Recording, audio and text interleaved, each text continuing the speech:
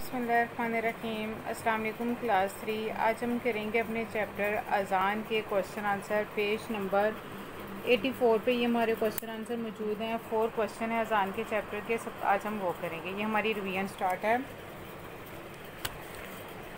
سب سے پہلے آپ نے اس طرح اس کا ٹائٹل پیج بنانا ہے اور اس کے بعد جو ہے دین یہ آپ اس کے کوشچن آنسر کریں گے۔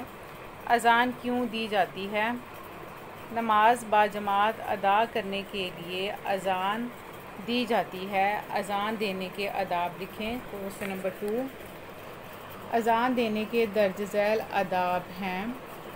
نمبر ون، باوضو ہو کر اذان دینا۔ نمبر ٹو کھڑے ہو کر اذان دینا۔ نمبر تھری، قبلہ روح ہونا یعنی قبلہ کی طرف فیس کرنا۔ نمبر فور، اذان ٹھہر ٹھہر کر دینا۔ نمبر فائیو اذان دیتے وقت کانوں میں انگلیاں رکھنا۔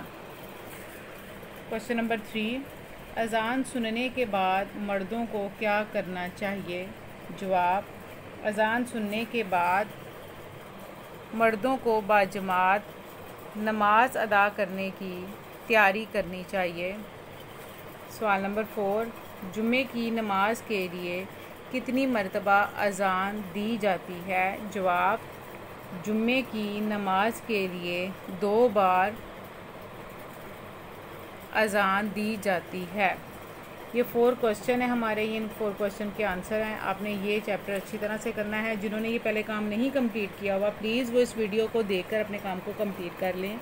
اور جنہوں نے کام کمپلیٹ کیا ہوا ہے، وہ اس ویڈیو کے مطابق اپنے کام کو چیک کریں۔ اگر کوئی مسٹیک ہے، اس کی کریکشن کریں اور اس کی، اس چیپٹر کی اچھی طرح سے اپنی لرننگ کریں۔